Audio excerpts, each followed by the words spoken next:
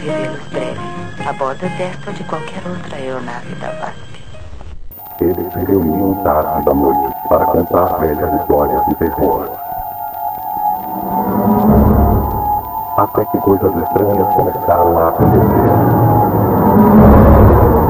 Aparições do além, fenômenos paranormais inexplicáveis. Som, pregatés e mel de duplas. Pontos de assombração. No domínio do medo. Sábado, 11 da noite. Vidas.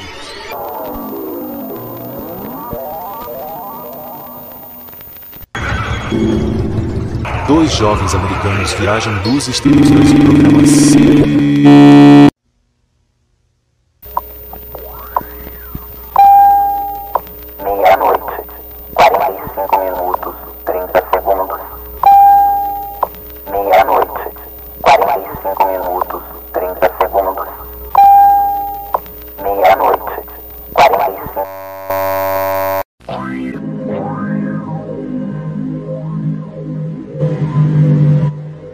Logo, o brilho das luzes será substituído pelos primeiros raios.